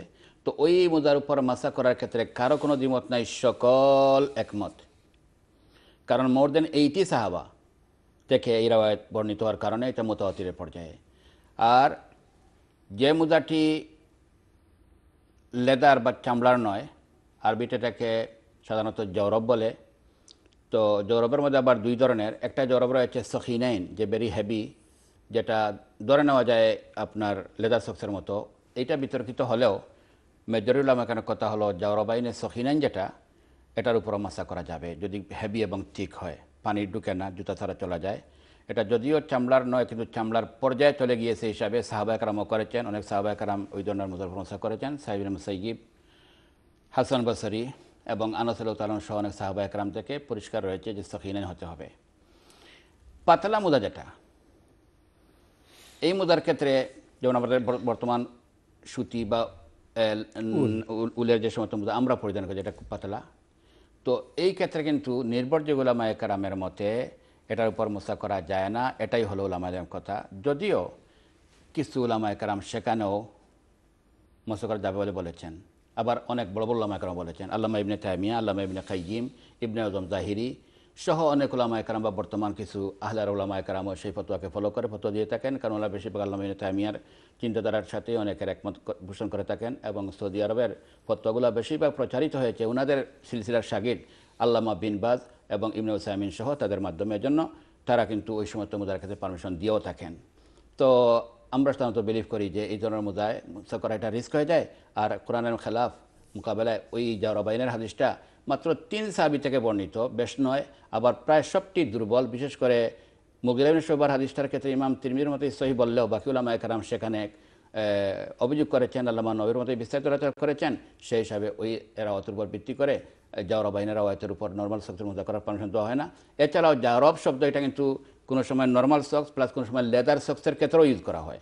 তাই যে জায়গাতে জাওরব এসেছে, আমরা হয়তো মনে করব এটা শুধু চামড়ার ক্ষেত্রেই প্রযোজ্য নর্মাল মোজা নয়। এই হলো সংক্ষিপ্ত কথা, পরে বিস্তারিত আমরা আরও বলব ইনশাল্লাহ হুজুর। আর আমরা এই মুহূর্তে একটা অনুরোধ করতে চাই আমাদের সম্মানিত দর্শক বৃন্দের কাছে যে যখন হুজুর কোনো প্রসঙ্গে কথা বলেন, হয়তো আপনারা একটু ধৈর্য ধারণ করবেন লাইন কেটে দিবেন না। আমরা দেখি এই মুহূর্তে আমাদের সাথে কে যোগ দিয়েছেন। আসসালামু আলাইকুম। হ্যালো হ্যালো আসসালামু আলাইকুম। আমার একটা প্রশ্ন। যে আমার পেনশনের পয়সা তো আমরা মার্চও তো খাতর পয়সা পাঠাইতাম। হুম। তখন কু ওই মাসে যে পয়সা তুলবো ও পয়সারও জোগাড় দিতাম বলি। আপনি আপনার লগে থাকা আপনি মার্চ ফাটাইবা বলতে প্রত্যেক বছর মার্চই আপনি হিসাব করেনি জি হয় জি আমরা মার্চ রোজার আগে পাঠাই। রোজার আগে না মার্চ কোনটা মার্চ রোজার আটখানো পাঠাই দিই না হিসাবটা আপনি ইংরেজি মার্চে করেনি না রোজা মাসটি করেন রোজা মাস দিই না আসলে মার্চ ফাটাই দিই যাকে রোজার মাইসে গরিব গুড়ারে দেই এইবার তো রোজা হয়তো মার্চ রোজার আগে কিন্তু অন্য বছর তো মার্চও আসিল না মনে করেন রোজা তো দশ দিন হয়ে ওই আগবার নানি খালি জি হয় আচ্ছা আমি এখন কইম আপনার বুঝতে পারছি আমি আনসার দিয়ে আমার তো মাসে মাসে তুলি তো পেনশনের পয়সা হোক আগর যে ফাঁদ যাই হোক তো লগে জয়েন করে দিতাম নি যে আপনি দুর্ঘরিতটা ওদের দুর্ঘরি আমাদের হইবা ঠিক আছে? আপনার আমি কইয়ার তো আপনার প্রশ্ন হইল কি? আপনার যে ও মার্চর আগে যে পয়সা আপনাকে চাইব আগুন্তরেও মার্চর আপনার জকাত ডিউ থাকে আপনার কথা মতো হইয়ার তো ডিউ ডেটর আগে যে পয়সা তুলবা, এই পয়সারও জকাত কিটা হৌ, মূল যে পয়সা আছে কিন্তু মিলাইয়া জকাত দিতে হইবা টু পয়েন্ট ফাইভ পার্সেন্ট মনে হোক আপনার কাছে আছে সে ফর এক্সাম্পল দুই হাজার পাউন্ড আর মার্চর আগে আর আইয়া আপনার কাছে আমাইব আর মনে হোক পাঁচশো পাউন্ড কত হইল আড়াই হাজার এখন জকাত ডিউর তারিখে আপনার হি দুই হাজার আর এই মাধানোর পাঁচশো মিলাইয়া আড়াই হাজার হয়ে গেছে কি। আপনি ফুরা হাজার দিতে হইবা নি? ইয়েস ফুরা আড়াই হাজার দিতে হইবা বাট একবারে ইজি কারণ আপনার সব পয়সা দেওয়া লাগতো নাই। আপনি মাত্র টু পয়েন্ট ফাইভ পার্সেন্ট আদারও পঁচিশ পাউন্ড তো দুই হাজারে ওই লগে মাত্র পঞ্চাশ পাউন্ড আর হিবার হইলে আরও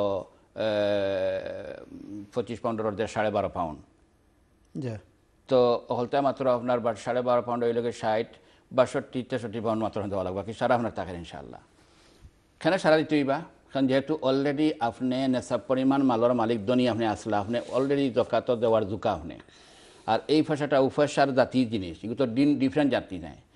যে একটার উপরে জকাত আছিল, এই জিনিসের যদি সমান জাতীয় জিনিস আপনার কাছে এই বছর মাধানো এড হয়, তো এটার প্রত্যেকটা আলগালা হিসাব করা লাগে না। প্রত্যেক আলগালা হিসাব যদি ইলা তো প্রত্যেক মাসে বসাই আমায়, প্রত্যেক মাসে আলগা ক্যালকুলেট করে দিয়ে আপনি হিসাব বার হলেন তা আপনার লাগি এই জকাত হিসাব করতে করতে আপনি হারানি দিবাগি যে এই গুণতের হিসাব, এই গুণতের হিসাব, প্রত্যেক এই মাসের গুণ, এই মাসে এই মাসে আর মজা লম্বা লেন্থ হিসাবে দিবগে। এর লাগি দেখতেই বা মূলধনের সাথে যে পয়সাগুলা বৎসরের মাথনায় ইন হয়েছে সমান ও জাতীয় জিনিস যদি হয়, যে আসিল পয়সা আর এখন এই হামাইসার পয়সা, সমান ও পয়সার ইয়োগ প্রফিট হোক অথবা অন্য লাইনে হোক, যেহেতু যে আপনার জকাত ওয়াজিব হয়েছে যে পয়সার উপরে, এই পরিমাণ পয়সা আপনার কাছে আসিল আর বছর মাঝখানে ইনি হচ্ছে পয়সা জাতীয় জিনিস মানি তো এগুলো আলগা হিসাব নাই। হ্যাঁ বৎসরের মাঝখানে জকাত ওয়াজিব জিনিসটা এড হয়েছে একটা অন্য জাতীয় যদি হয়, যেমন আপনার আসিল ক্যাশ পয়সা মাঝখানে সোনা একটা কিনছেন আপনি। বা এক মাস আগে ইয়া মাইছে, জকাত ডিউর সোনাই মাইছে এটা সোনা আর ক্যাশ পয়সা তোরা বেশ সময় গেছে কি? ঠিক আছে নি? তো এখানেও কিন্তু আপনার সোনার হিসাব আপনি যে মাস রমাইছে ও মাসটাকে নিয়ে আগামী বছর এক মাস, ও মাস হওয়ার পরে বছর যখন গুলব, এক বছর পাঁচিয়ে দিব, তখন গিয়ে আপনি এটা হিসাবে জকাত দেওয়া লাগবে, এখন দেওয়া লাগতো না। আর যেহেতু আপনার দনি আসলা যে ক্যাশ পয়সার মাধ্যমে, আর ও বছরের জকাত দিউর আগর তারিখের আগে আবার ক্যাশ পয়সাও ইয়া হামাইছে ইগুন ও মূল পয়সার লগে হিসাব করিয়া একান্ন করিয়া হিসাব করিয়া মিলাইয়া আপনার টোটাল পয়সার টু পয়েন্ট ফাইভ পার্সেন্ট জকাত দেওয়া লাগবে। ঠিক আছে ইনশাল্লাহ তবে একটা জিনিস কেন করা দরকার আছে? আপনি কইছেন আপনারা মার্চ ভাষা পাঠাইন। জকাতর ক্ষেত্রে একটা ডেট ঠিক করা খুবই জরুরি আমরা এখানে অনেকেই ভুল করি। আমরা লামসাম রমজানও এক করি বাট রমজানের কোনো একটা ডেট ফিক্স করি না। প্রত্যেকটা বছর এক ডেট ফিক্স করতে হইবা সমান ও ডেটে আপনি হিসাব করবা এক। এবং এই ডেটটা হইতে ইসলামিক মান্তর একটা ডেট এর লাগে ইজি আপনার লাগে রমজান শরীফর এক তারিখ বা দুই তারিখ বা দশ তারিখ, যে হোয়াট আপনি একটা ডেট ফিক্স করবা। ও তারিখে আপনি ইয়ার জকাত হিসাব করতা কিরা এবারে ইজি আপনার হয়ে যায়, খুব বাড়ি খেয়াল করেন যেন। ফলে দেখবা ফলে নম্বর জকাতর প্রত্যেকের আলগা আলগা অ্যাকাউন্টের আলগা আলগা হিসাব। যারা ট্যাক্সের ক্ষেত্রে সারা গড় হাবি গোষ্ঠী হলে মিলিয়া এক অ্যাকাউন্টে আমরা ট্যাক্স দিই না, প্রত্যেকের আলগা আলগা অ্যাকাউন্টে ট্যাক্স দিই। জকাতটারও প্রত্যেকের ইনফেরাদি আলগা আলগা ইন্ডিভিজুয়াল প্রত্যেকের জার্জির যে পরিমাণ পয়সা আছে বা আমার যে ইয়ে আছে যেটা আমার যে সেটা সেটা ও ইনকাম আছে ও ইনকাম থেকে আমার দিতে হইব। এক। দুই নম্বর আপনি হিসাব কিলা কর্তা? ফলা নম্বর জকাতর সম্পর্ক ঈদের সময় যারা আছে চারটা জিনিসের লগে। হঠাৎ চারটা জিনিস। আপনার ক্যাশ পয়সা। যেগুলো আছে ওগুলো টোল ফরুকা ওই তোবারে ক্যাশ পয়সা এগুন আপনার ব্যাংক তোয়া ওই তোবারে বালিশের তলে তোয়া বা লোকার তোয়া এগুলো আপনার পয়সা আপনার যেসানো তোতা হোক। ইভেন হয়তো ওই তোবারে বাংলাদেশের ব্যাংক তোয়া আগুন আপনার পয়সা পাউন্ডে তোতা হোক, আর টেকায় তোতা হোক ব্যাংক তা হোক, বালিশের তলে তা হোক, বা আপনার লোকারও তা হোক বিছনা তলে তা হোক যেসানো তা হোক এইসব পয়সা মিলাইবা আপনি? ওইল নি? মিলাইছেন আপনি। এর বাদে তো হোকা যে আপনার মালিকানাত কোনো সোনা অথবা রুফা আসেনি আপনার ওয়াইফ নাই, আপনার লগে নাইও। ইদিলে আদাইব বাট আপনার সোনা ইগুলি তো বেটাইন তোর সোনা তার কথা নাই। তাকে যদি আপনার, তো ইগুন তোর পয়সা হিসাব করতা কিলা ও সোনাগুন আই ব্যস্ত হইলে যত পয়সা হইব ইভেন সেকেন্ড হ্যান্ড দাম হিসাবে আও পয়সা আপনার এড সরকা করছেন তো? রুফা তাহলে সরকা ব্যবসার লগে সম্পর্কিত কোনো জিনিস থাকে, যদি আপনার কোনো ইনভেস্ট করছেন কোনো শেয়ার আপনার আছে শেয়ার হোল্ডার অথবা আপনার দোকান আছে, তা ওটা আজকে বেচলে যত বাড়াইব দাম অভিন্তর দাম ধরিয়া আপনি স্টার্ট হরকা। ইভেন আপনি সেউরে খরচ দিচ্ছেন এই পয়সা এবার ফাইলিবা বা পরে পাইবা প্রমাণ আছে দিব না করেন না। আগুনও আপনার পয়সা এখন হিসাব এখন দিলে বালা আর না ফাইয়া লগে হল বছর দিতে চাইলে পারবা আপনি। হিসাব করিয়া এখন দেখো ও বছর ডিউ আগে আগে দেখবেন আপনার খরচ দেওয়া লাগবো কিন্তু মানে সরকার করিয়া যাতা হব টু পয়েন্ট ফাইভ পার্সেন্ট হাজার কাটি দিবা খালাস। আলহামদুলিল্লাহ অত্যন্ত সুন্দর সমাধান দিচ্ছেন হুজুর মাসাল্লাহ আমরা দেখি আমরা লগে খেয়ে আসুন। আসসালামু আলাইকুম। হ্যালো আসসালামু আলাইকুম। ওয়ালাইকুম আসসালাম রহমতুল্লাহ বারকাত আপনার প্রশ্ন আলহামদুলিল্লাহ। আমরা ভালো আছি মাসাল্লাহ আচ্ছা আমার জাকাতের একটা প্রশ্ন।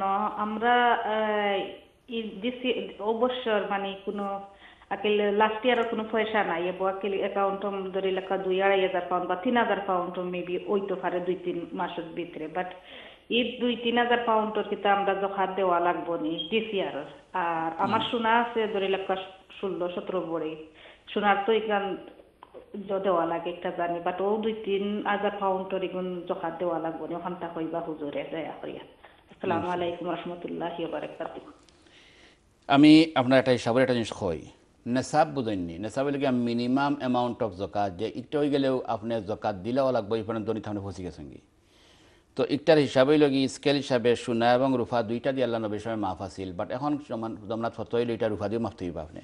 রুফা কত আনি মাফতা ছয়শো বারো গ্রাম সিলভারের যে দাম হইব, ও সমান দাম একটা যদি পয়সা আপনার কাছে জমা থাকি যায় সেভিং তে আপনি জকাতর যুগ হয়ে গেছেন কি, এক বছর দেওয়ার পরে যদি অগুন ব্যবসা বেশি থাকে, তখন টু পয়েন্ট ফাইভ পার্সেন্ট দিবা। তো আজকের এই হিসাবে রুফার গ্রাম হইল কি, আপনার সিক্সটি পেন্স হরিয়া।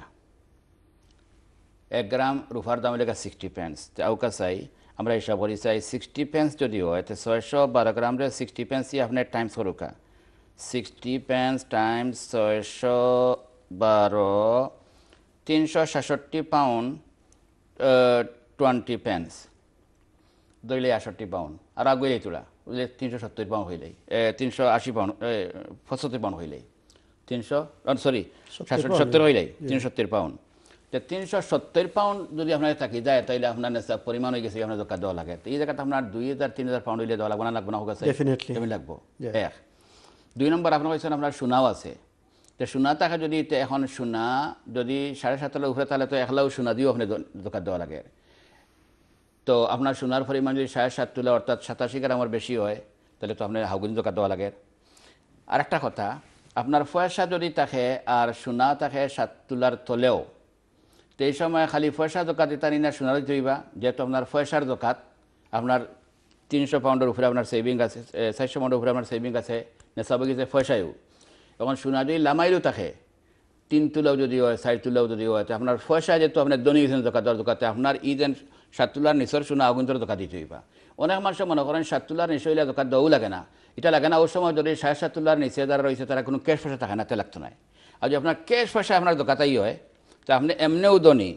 দনি মানুষের হিগুন্তর দোকান দন দিতা আও সোনার সেকেন্ড হ্যান্ড দাম রইয়া দোকান দিতে হইবা এখানে অনেক মানুষের বলব আমরা জি? আর এখন যদি ওখান যে সোনাও তুড়া খেরফেসা তুড়া হলটি মিলাইয়া দেখা যায় রুফার পরিমাণ হইয়া দেওয়া লাগবো নি ঠিকটা একটা কমপ্লিকেটেড দিচ্ছেন ক্লিয়ার দিচ্ছেন আয়ও বাট এই মা বোনে যে বলবেন ইয়েস ইয়েস তুমিও দিতে হইবে কারণ তোমার যদিও তুলা তুলা ইয়া তো একটা রুফার পরিমাণ তৈরি গেলো একটা তৈরি গেল কি? তুলাও দিবা টু এন পারে ছাড়াও থাকব লাগে দিল্লাও দিল্লে বাঁচি দিবে কি? সে কথা বলেন স্যার মতো লাগে। ঠিক আছে? জাজাকুমুল্লাহ। আসসালামু আলাইকুম সম্মানিত কলার আসসালামু আলাইকুম। ওয়ালাইকুম আসসালাম রহমতুল্লাহ বরকাত জি আপনার প্রশ্নটা কি তা? আমার প্রশ্নটা হইল আমি বিয়ে করছিলাম তা আমার কথা। একটু জোরে কইবা নি ফর্মকে আমরা শুনি একটু বড় হইতে হইবা আচ্ছা আচ্ছা, আমি আমি লাগিয়া ফিরে আনোয়ার দশটা পুরা প্রাণ পৌঁছে যাব আমি যেতাম দেখলাম আমরা তো রাত আমরা সকল বা এই দণ্ড বাইর বউ যেটা নিজের একটা মারা গেলে লেখক যাইতা পালিয়ে গেলে হলো তো লগে দিয়ে লগে ওই সময় ওই- যে ধরো মৃত্যু ব্যক্তি মারা যায় ওই দিন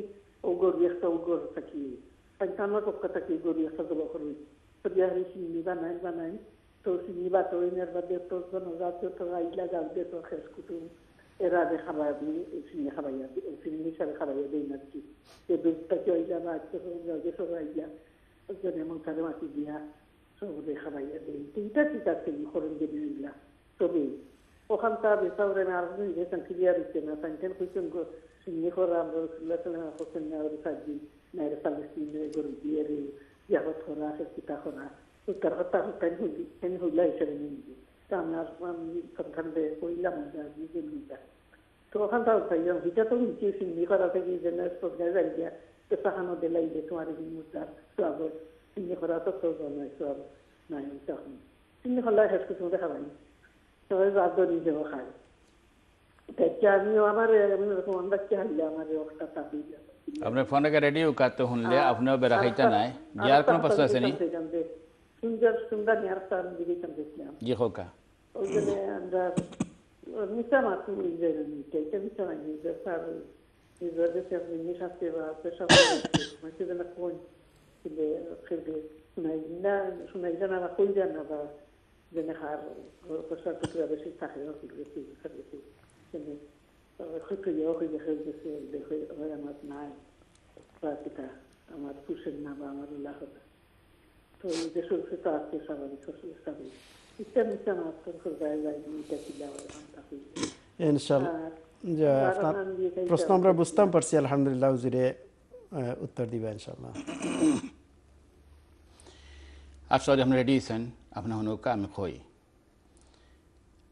এর আগে একটা জিনিস আমার অনুরোধ হতাও যারা উপস্থ হর বা প্রশ্নটা খুব সুদা করিয়া, সহজ করিয়া কইলে সহজে বোঝা যায়। অনেক সময় কথাটা হইতে গিয়ে বহুত লম্বা হয়ে যায়, জিনিসটা খুব সহজ প্রশ্ন। বাট হওয়ার উপস্থাপনটা বেশি লম্বা হয়ে যাওয়ার কারণে আমরা অনেক সময় কমপ্লিকেট মনে করি বা আওয়াজ বেশি আসতে তার কারণে আমরা খোয়া লাগে, বড় ইয়ে করতা তো আপনি যেহেতু আপনাদের কোশ্চেন করাটা বুঝবার লাগে আপনি চেষ্টা করতে ওলা বাটে আমার উপস্থাপনটা হইতো বা আওয়াজটা হইতো হেনিয়ে বুঝতে পারেন। আলহামদুলিল্লাহ, আমরা বহুত চেষ্টা করে বুঝতে পারছি, আলহামদুলিল্লাহ। তো ফলা নম্বর প্রশ্ন হইল গিয়ে আপনার মানুষ যেদিন মারা যায় ও দিন একটা গরু পাঙ্কুন্দা জব করিয়া অন ও মরার ঘর রান্ধিয়া আর মানুষের খাবানি হয়। এটা ঠিক আছে ঠিক নাই? আপনি আর কোন জিজ্ঞাসা চৌধুরী কইছেন চল্লিশ ঠিক নাই, তিন নম্বর দিন ঠিক নাই। হিতা আপনি জিজ্ঞাসেন না, আপনি জিজ্ঞাসা উঠা। দেখোকা ও যে কথাটাও একই আনসার, এই জিনিসটা ঠিক নাই। ঠিক নাই এখানে কারণ হাদিস আইসে যেন মারা গেছেন তারা এমনিও ব্যস্ত, তারা এমনিও চিন্তিত। এই সময় তারা রান্দারান্দি করতে এটা একটা উপরে একটা জামেলা হয়ে যায় কি বাট শর্মে গরম এটা খরাও লাগে। এর লাগি নিয়মই লগি কেউ মারা গেলে তাইন গড় রান্দারান্দি হইত না, বরং আশপাশ মানুষের তানরে তিন দিন পর্যন্ত রান্ধি রান্ধি তান আত্মীয় যারা আছেন, এইবার তখন খানা দিতে, ওগুই লগি সুন্নত। আর যুক্তিও লয় ওঠা এখন বিচারার মানুষ মারা গেছেন এখন তার বিচার দাফন খাবন তার লইয়ার চিন্তা করতো নি না, গড় রান্দারান্দি করতো। এই পয়েন্টে ইদিন করে খানির আয়োজন করাটাও ঠিক নাই, এক। নাম্বার টু যদি এই আয়নটা যারা মারা গেছেন তারার পক্ষতেই না করিয়া। আত্মীয় স্বজন বা অন্য এলাকার মানুষ করিলেন সেটা ভিন্ন কথা। বাট আইজ খাইলে এটা কিন্তু এমন একটা ট্রেডিশন এমন একটা মধ্যে পরিণত হয়েছে যে মরার বাড়ি খানি এটা খরাও লাগে। শর্মে গরমে হইল, নিজে গড় নিজে রান্ধৌকা অথবা রেস্টুরেন্ট থেকে আনৌকা, অথবা কুটুম্ব থেকে আনৌকা, একটা খরাও লাগে। এই যে বাধ্যবাধকতা বা একটা জরুরি যে ফরিলা হয়েছে এই জিনিসটা কিন্তু কোনো অবস্থায় ঠিক না এবং জরুরি মনে হয় যদি এটা হেবাদত মনে করেন, তো এটা উল্টা বেদাত হইব। হৌ একই আনসার উলামাকে এটা কইছেন, ঠিকও কইছেন যে আল্লাহর নবীর সময় নবীর ইন্তেকাল দিলে কোনো করা হয়েছে না। কোনো সাহাবাক মেলা করা হয়েছে না। এলা জিনিসটা আমরা করতাম না। সমান তিন নম্বর দিন বা চল্লিশ হাজার টাকা করে আউট হাদিসে করানো নাই। একই দ্বারাত, একই গ্রুপ পড়ছে। এটা একই মই গরবে আনছে সবটি। এটা তো খাবানি তখনটি এত কুটুম। এটা কোনোটাও ঠিক নাই। হ্যাঁ যদি দূর থেকে মানুষ আইছেন তারা কষ্ট হয়ে যাব হিসাবে। যেইন মারা গেছেন তাইন এবং তান ফেনি মানুষের না হরিয়া অন্য দূরের কোনো মানুষে একটা খানি এরেঞ্জ করিলাইন আর মেমারা খাবাই দিলাইন যেভাবে ই গর অন্য হান্তি খানি নিয়ে দেওয়াটা সুন্নত। এই হিসাবে তাই একটু বড় করে খানি আনিলা, নিয়ে দুবারা মানুষ আনি তারা খাবাই দিলাইলা। ঠিকটা হয়তো মানে নাও দিতে পারে বাট আমি আবারও হইয়ার এটারে ফত করলেও এটা বেশি সতরা মেলি দেয় কি। আর মেলিয়ে গিয়ে আমরা অনেক সময় সব মনে করি না হলে গুণা মনে করি। তারপর পড়িয়া ঋণ করিয়াও ইভেন রিসেন্টলি একটা ফ্যামিলি আমি জানি আর ঋণ করিয়া তারা খাবন দিচ্ছেন ও মানুষও আউদিন শ্রেণি করছেন তিন নম্বর শ্রেণি করছেন চল্লিশ শ্রেণি করিয়া আবার ঋণ করছে তারা বইতেছেন অথচ দিন মারা গেছেন টান ঔষধ খাইছেন দুই লাখ টাকা এখন পর্যন্ত তান ব্যাংকর ইয়ত কিতা নাম? ঋণ। রয়েছে। ঋণ তুইয়া আমরা তো শ্রেণি করাত লাগছেন আল্লাহ আকবর আল্লাহ আকবর। যে জায়গাত ঋণের ক্ষেত্রে হাদিস তো করাইছে যে রসুল্লাহ ষাটটা দিনার তুইয়া মারা গেছিল একজন, কইছেন আমি জানাজা পড়িতাম তোমরা জানাজা পড়ি দুই দিনার তুইয়া মারা গেছেন, শহীদিয়া মারা গেছিলা। নবী ফরমাইছেন, তোমার তোমার বাবা জান্নাতর সার্টিফিকেট লইয়া যান শহীদরা কাটকা উঠিছেন খেলে তার দুই দিনের ফানা রয়েছে পয়েন্ট আদায় করছেন, ফরহির মায় জানছেন যেন পাস পাইছেন। আমরা তার ইন্ডিয়া খেলা করি, তার ইন্ডিয়া আমরা খেলা করি। অতএব আপনার প্রশ্নের সাধারণ উত্তর একটাও যে এইভাবে খরাহানটা বালা নাই। সামনে করলে বরং বেদাত হইব। হ্যাঁ এখন হাঁ হইয়া হইলেও তো ফত খুললে আবার বড় বেশি খুলি দেয় যদি দূরের কোনো মানুষ আনি দিলেন অন্য আত্মীয় দিলেন তে একটা কথা বাট আমরা ইলাওয়ার না। ওগুলোও করা হয় চাপদা করা হয়।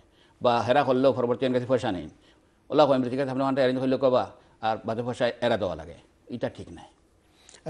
আরও একটা জিনিস হোক অন্য গড়তে কেউ চিন্নি দিলে আনিয়া এরপরে কতদিন বাদে সময় সিচুয়েশন নর্মাল হয়ে যাবে। দেখুন তোমার বাপজন মারা গেছিল চিন্নি খেয়ে করছিল? কুটা দেওয়া যাটা। ইগো হইলে তো ইগো দিলে তো আদিস আল্লাহ ওলা তুব তিলু সদকাতুম বিল মাননি ওলা যা। ইগো কুটা দেওয়া এটা ঠিক না এটা বড় গুণা আপনার একটা প্রশ্ন রয়ে গেছিল একটা।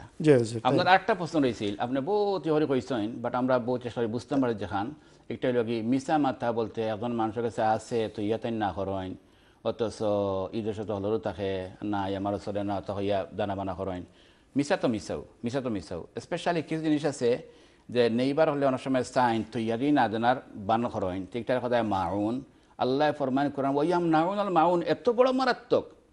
হে তো নেইবারের হক আদায় করে না অন্যতলে গছ গছ করে, নমাজও করে না ঠিকমতো। ইভেন মাউন অন্য হেল্প করা যেতে জিনিসটা অত দেয় না। নেইবার তুই দা নি আমরা অত আনি তা আনি খয়ের কোনো ক্ষতি হয় না, এটা দেওয়া নিয়ম। তো এই সময় যদি তৈয়ারি দেয় না মিশা মাত্র এটা মারাত্মক ধরনের ডাবল গুণ হইব। আল্লাহ আমরা হেফাজত ফরমাকা জাজাকুমুল্লাহ। জাজাকাল্লাহ খাইর। হুজুর অত্যন্ত খুব গুরুত্বপূর্ণ প্রশ্ন আপনারা করেন আর সুন্দর উত্তর আমরা পাই। খুব ভালো লাগে। আসলে দেখতে দেখতে একদম লাস্ট পর্যায়ে আমরা আইছি আর একজন কলার একটা কল আমরা নিতাম পারব বাকি সকলের গেছে আমরা মাফ চাইলিরাম বাট আমরা দেখিলাই ওখান আমরা লগে খেয়ে যোগ দিছেন। আসসালামু আলাইকুম। ওয়ালাইকুম আসসালাম। আসসালামু আলাইকুম। জি হুজুর আমি আর একটা প্রশ্ন করতাম চাই। এই ফরমাকা এম, বেটিন তো ওর জরুরি নি হজ করা আর হজ না কইরা উমরা যাওয়া যায়নি ওখানটা হুজুর দয়াটা আনসার খুবই সহজ। বেটিন তোর হদ ফরজ হইলে বেটাইন তোর যারা ফরজ আপনার উপর ফরজ হইতে পারে ফরজ হইলে জরুরি নাই জরুরি নাই। কারণ কিলা ফরজ হইব বাদে হইয়ার সেকেন্ড প্রশ্ন খালি উমরাত গেলে হজ খরও লাগবো নি বা হজ না উমরা যাওয়া যায় না? ইয়েস হজ না হরে উমরা যাওয়া যায়। নবী করিম সাল ইসলামে মক্কা থেকে হিজরত করে মদিনায় যাওয়ার পরে মাত্র একটি বার হজ করেছেন কিন্তু উমরা করেছেন চারবার কয়বার করেছেন চারবার এবং হজের আগেও আল্লাহ নবী উমরা করেছেন। এটা একটা ভুল ধারণা যে উমরায় গেলেই হজ ছাড়া উমরা যাওয়া যাবে না বা উমরা গেলে হজ ফরজ হয়ে যায়।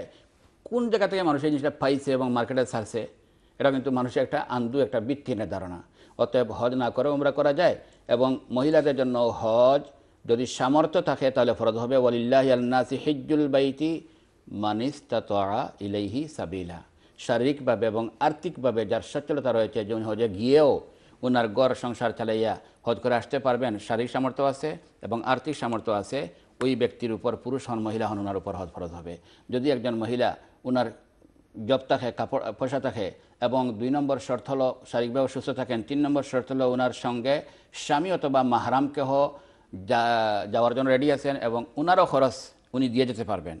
তো এমত অবস্থায় একজন মহিলার উপর হজ ফরজ হয়ে যেতে পারে। আমি আবারও হইয়ার যদি মনে হরকা আপনার পয়সা আছে আপনার একজন স্বামী অথবা আপনার মাহারামও আছেন। মাহারাম বলতে নিজের নিকটাত্মীয় নিজের ছেলে বা নিজের বাবা নিজের ভাই, মামা নিজের আপন চাচা নিজের আপন নাতি নিজের আপন বাগনা, ঠিক আছে নি? এরা কেউ লগে দিতে পারবা আপনি হ্যান্ড পয়সা দিতে পারবা বা তাই হয়তো তার পয়সা দিয়ে আপনি তার লগে দেওয়ার চান্স আছে আপনার তো এমত অবস্থায় আপনার উপরে ফরদ দিয়ে দিব কি আর যদি সামর্থ্য থাকে না ফরদ দিতে নাই। আর সেকেন্ড প্রশ্ন যখন আমি ব্যবহার হইমু যে হজ ছাড়াও উমরা করা যায়। উমরাত গেলেই হজ ফরদ দিয়ে যায় কিনা জাজাকুমুল্লাহ। জাসাকাল্লাহ খের আসলে অত্যন্ত খুব মানে অত্যন্ত হৃদয়াগ্রহী প্রশ্নগুলো ছিল এবং অনুষ্ঠানটাও ছিল খুবই মধুর, আলহামদুলিল্লাহ। যেগুলো আমাদের জীবনকে সুন্দর করে, প্রস্ফুটিত করে এবং আমলের প্রতি উৎসাহিত করে। কিন্তু আমাদেরকে সময় তাড়া দিচ্ছে। আমরা অত্যন্ত বিনয়ের সাথে আপনাদের কাছে ক্ষমা চেয়ে নিচ্ছি। অনেকেই লাইনে ছিলেন, আপনাদের প্রশ্ন নিতে পারিনি। বাট আলহামদুলিল্লাহ, হুজুর সবসময় আসেন আমাদের একরা বাংলায়। হুজুর আছেন এটা আমাদের জন্য নিয়ামত। অন্য অনুষ্ঠানে আপনারা আপনাদের প্রশ্ন নিয়ে আসবেন ইনশাল্লাহ আপনাদের প্রশ্নের উত্তর হুজুর দান করবেন। হুজুরের জন্য সবাই দোয়া করবেন, আমাদের সবার জন্য দোয়া করবেন, গাজার মানুষের জন্য দোয়া করবেন। আর একরা বাংলার সাথেই থাকবেন। আমাদের অনুষ্ঠান এখানে শেষ করতে হচ্ছে। সবাই ভালো থাকুন। আসসালামু আলাইকুম রহমতুল্লাহি ওবরাকাত